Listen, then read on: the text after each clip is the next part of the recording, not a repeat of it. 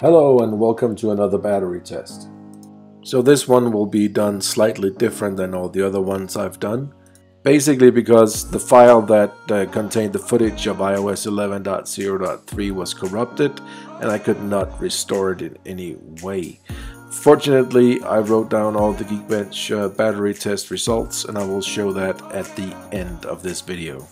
Also at the end of this video I will pull up a chart showing you the results of the latest battery test video scores that I've done and uh, show them compared to each other and to the latest iOS 11.1.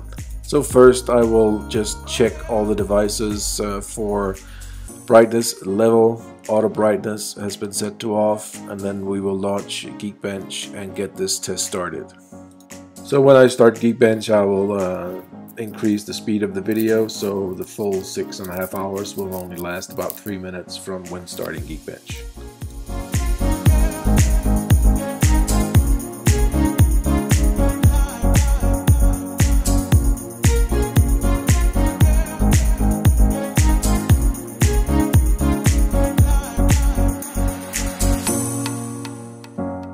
And let's also just check that we are on 11.1 build 15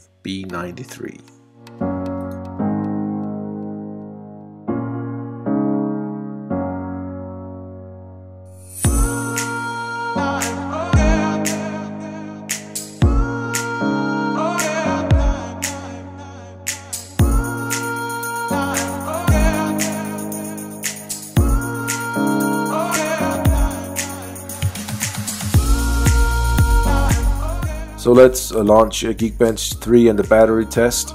And if you have any questions about uh, this test, take a look in the video description of this video.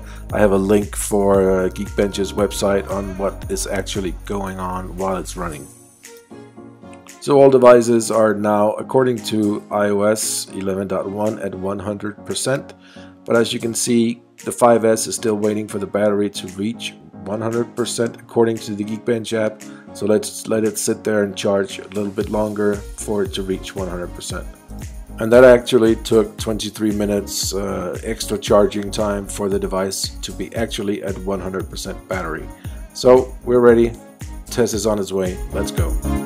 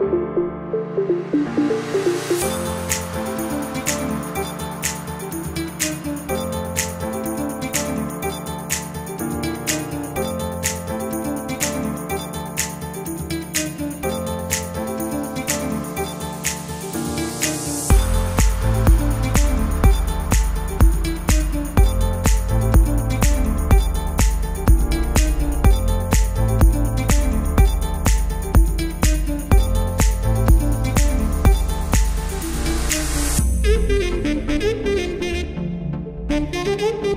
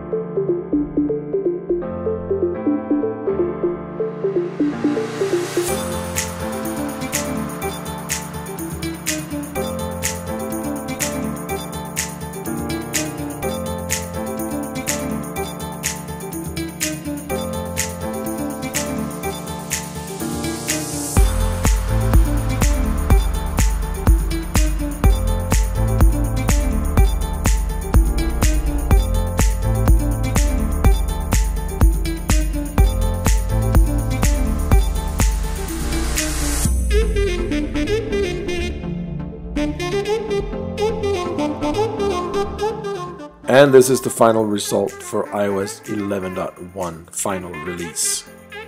So now let's look at that compared to all the other versions that I've tested recently.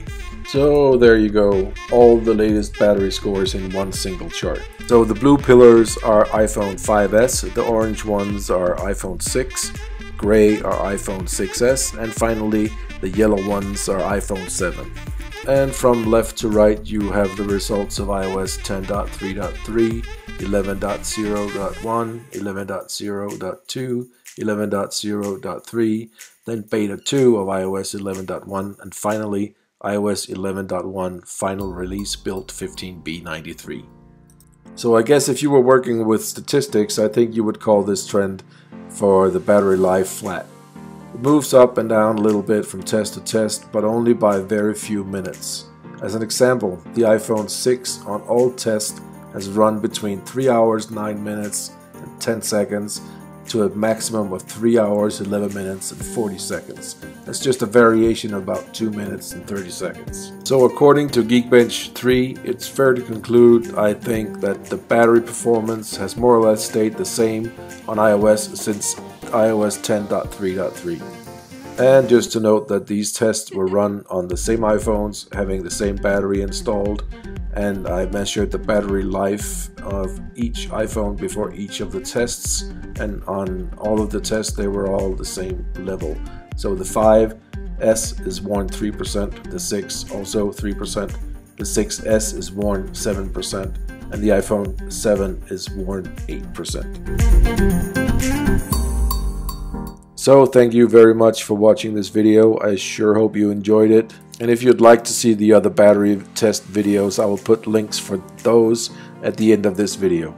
And wouldn't you know it, this is actually video number 700 going up on the channel. That's quite a milestone. And please remember to subscribe to the channel. You know what happens if you don't? Your device will get slow and your battery will probably also get much worse. Música